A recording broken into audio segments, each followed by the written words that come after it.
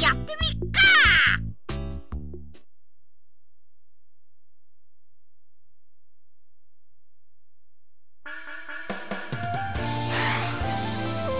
おい閉めたな悟空。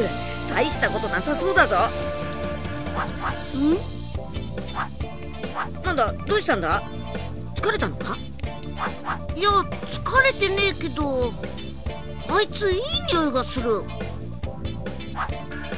よくわかんねえけど。嬉しい匂いだ。無天老師様どうしたんですか？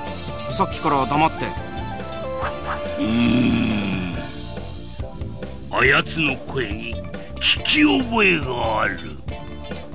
どこかで会ったことがあるような気がするんじゃがどうも思い出せんすごいやつだというのは気配でわかるんじゃそう。とても達人には見えないけどな。よーし。では最後の試合を始めるぞよ。どちらかが参ったというまでじゃ。もしもこれで小僧が勝てたならドラゴンボールのありかを占ってやるわい。それでは試合始め。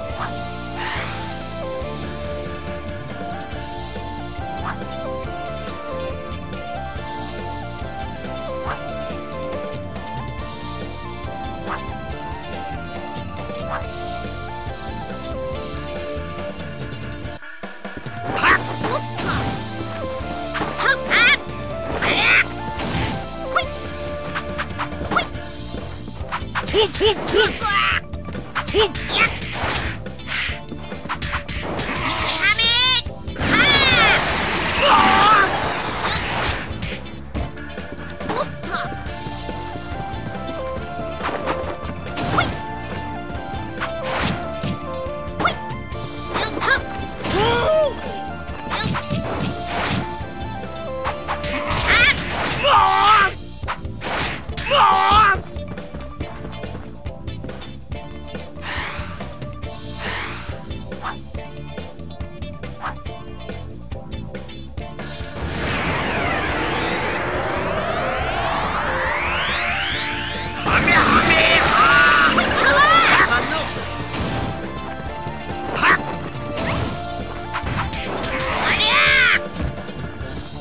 やりおるの。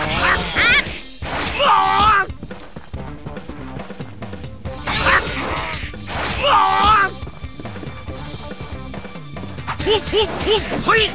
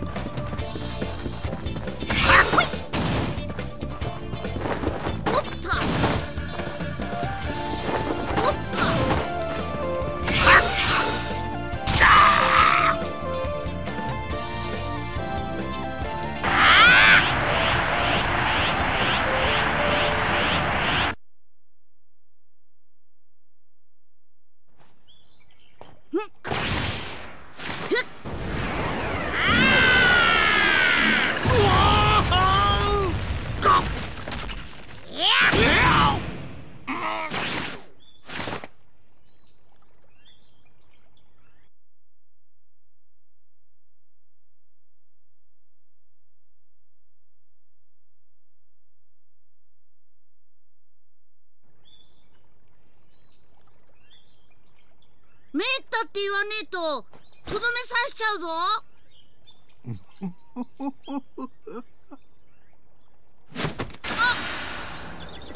いいかん。悟空は尻尾を強く握られると力が抜けてしまうんだ。なんじゃと。そんなことわしも知らんかったぞ。さすがにあいつは達人だな。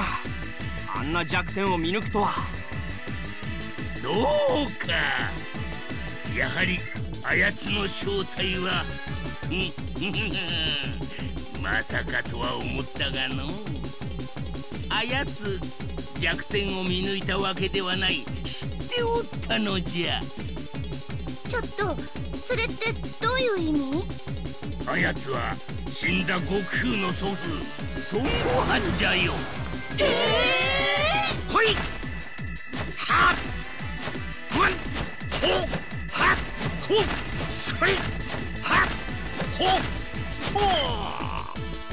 しつこいやつじゃのまだ参ったと言わんつもりかはよ降参せんと死んでしまうぜよひし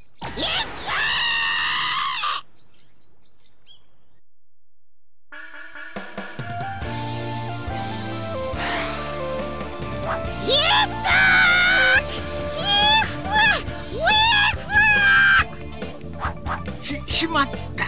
尻尾が切れてしもうた。ああいつが悟空の死んだじいさんだって？な何バカ言ってんのよ。ずいぶん前に死んじゃったんでしょ？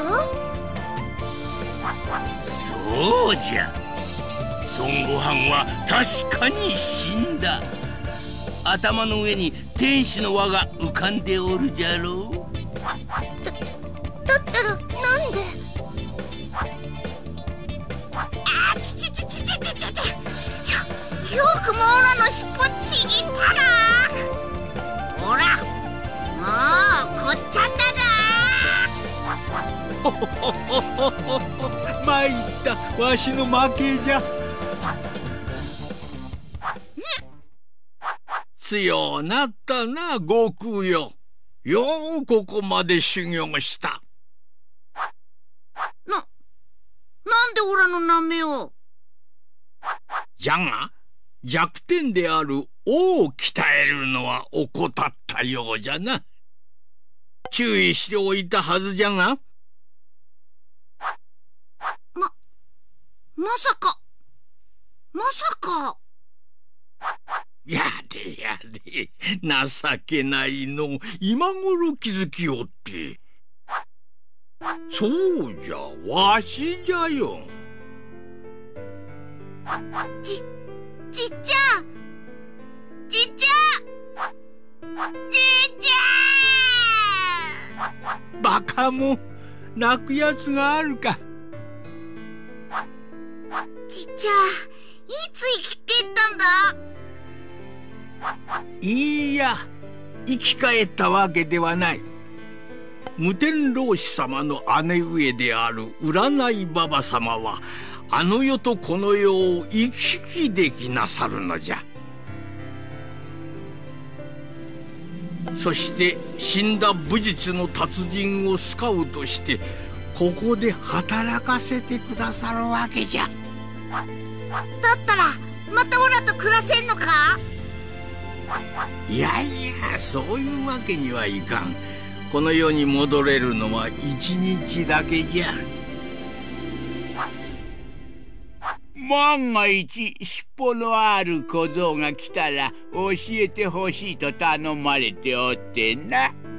占いでお前らが来ることを知って引き合わせたというわけじゃ。これで最後のボールの位置がわかる。ウパお前の親父も生き返るぞ。ででも悟空さんのおじいさんも死んでいらっしゃるのに僕の父上だけ。はっはっは構うことはないぞよ。わしはあの世も結構気に入っておる。無天老師様のもとで修行しておるなら悟空の心配をする必要もあるまいわしは安心してあの世に帰ることができる。じっちゃんもうけっちゃんか？遠い未来。あの世でさらに成長したお前の姿を見るのを楽しみにしておるぞ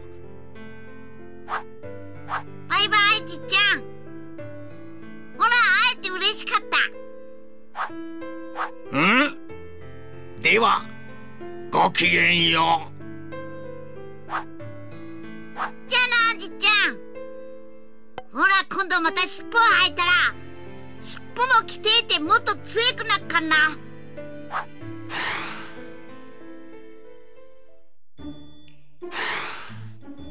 あのガキの弱点は尻尾だ。